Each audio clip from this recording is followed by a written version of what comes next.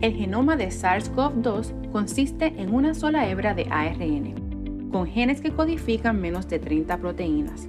Esto representa menos del 0.1% de las proteínas codificadas en el genoma humano. El genoma del virus contiene alrededor de 30.000 unidades llamadas nucleótidos. Estos están representados por las letras A, U, C y G. La secuencia de nucleótidos en un genoma determina las proteínas que éste codifica. Cuando el virus infecta una célula, su genoma es replicado o copiado. Primero, el virus forma hebras complementarias de ARN llamadas plantillas de ARN.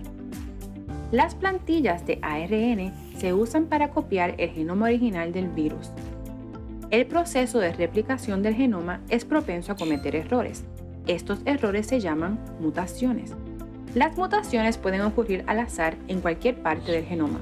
Por ejemplo, en esta mutación la U fue sustituida por una A. Un nucleótido puede ser sustituido por un nucleótido diferente, ser añadido al lugar incorrecto o ser omitido. Cuando el virus mutado infecta a otra célula, todos los virus nuevos que se repliquen a partir de él tendrán la misma mutación, además de cualquier mutación nueva que ocurra. Dependiendo de las ubicaciones y de los tipos de mutaciones, estas podrían o no afectar la capacidad de un virus para propagarse en una población. Los virus con mutaciones que ayudan al virus a replicarse o infectar células tienen una ventaja selectiva.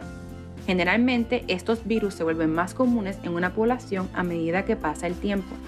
Los virus con mutaciones que reducen la capacidad de replicación o infección tienen una desventaja selectiva. Generalmente, estos virus se vuelven menos comunes en la población a medida que pasa el tiempo.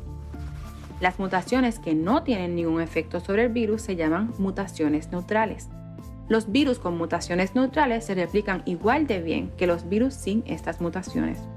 Rastrear las mutaciones en los virus pueden ayudarnos a determinar dónde comenzó un brote viral y cómo se propagó. Comprender cómo cambian las poblaciones de virus a medida que éste se propaga puede ayudar a los científicos a desarrollar tratamientos y vacunas.